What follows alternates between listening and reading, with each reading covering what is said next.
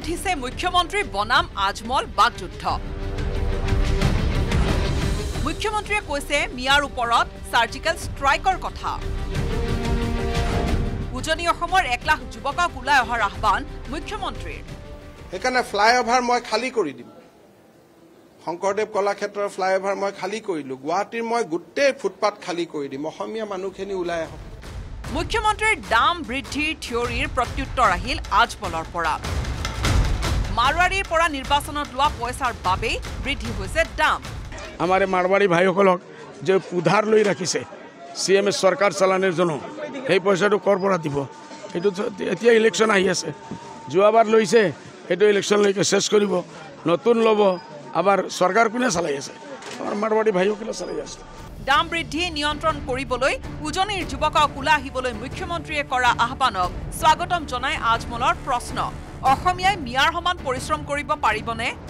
অসমীয়া ল'ৰাবিলাকে এইটো কামত আহক আহ, খেতি কৰক কৰিব নেকি জানো? মৰতো নালাগে কৰিব বহুত কষ্ট কৰিব লাগিব। আৰু গুৱাহাটীত চাফাই কৰি দিব আমাৰ মিয়া মানুহবিলাকক মছলা মছলা চব্জি তব্জি বিক্ৰী কৰিব নিদিয়ে। এনেকুৱা কথা এজন চিফ মিনিষ্টাৰৰ মুখৰ পৰা। অসমীয়াৰ সংজ্ঞা আৱিষ্কাৰ কৰি আজমলে অসমীয়া জাতিক অপমান কৰা বুলি মুখ্যমন্ত্ৰীয়ে কৰা মন্তব্যৰ প্ৰত্যুত্তৰ দি আজমলৰ হুংকাৰ। মইতো ভাতৃত্ব ভাড়াৰ চেষ্টা কৰি আছোঁ। চিফ মিনিষ্টাৰ হিচাপে এইটোৰ বাটাবাটিৰ চেষ্টা কৰি আছে। যদি কোনো ঘটনা এইটোৰ ওপৰত হয় চিফ মিনিষ্টাৰ হাণ্ড্ৰেড পাৰ্চেণ্ট দায়ী এ আই ডি এফ প্ৰধান মৌলানা বদৰুদ্দিন আজমল আৰু ৰাজ্যৰ মুখ্যমন্ত্ৰী ডক্টৰ হিমন্ত বিশ্ব শৰ্মাৰ মাজত অসমীয়াৰ সংজ্ঞা আৰু দাম বৃদ্ধিক লৈ চলা ৰাজনৈতিক বাকযুদ্ধত ৰহস্যৰ গোন্ধ পাইছে বিৰোধীয়ে। নিৰ্বাচন আহিলেই কিয় আৰম্ভ হয় এই ছায়াযুদ্ধ?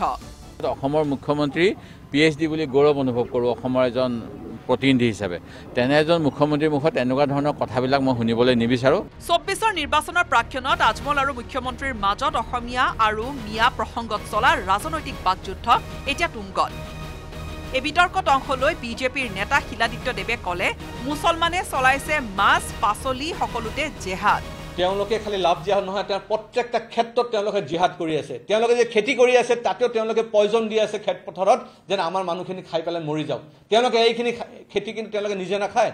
তেওঁলোকৰ নিজৰ ঘৰৰ কাৰণে বেলেগকৈ খেতি কৰে আৰু আমাক খুৱাবৰ কাৰণে তেওঁলোকে বেলেগকৈ খেতি কৰে। ইফালে মুখ্যমন্ত্ৰীয়ে উজনি অসমৰ যুৱক যুৱতীক উলিয়াই আনিবলৈ কৰা আহ্বানক সঁহাৰি জনাই বিজেপি যুৱ মৰ্চাৰ সভাপতি সিদ্ধাংকু অংকুৰ বৰুৱাই ক'লে তিনি লাখ যুৱক যুৱতীক উলিয়াই আনিব যুৱ মৰ্চাই। সমাজত আমাৰ ভেটিটো শক্তিশালী কৰিবলৈ আমি চেষ্টা কৰিছোঁ।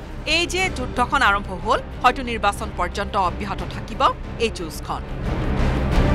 Bureau' report news eighteen Assam north east.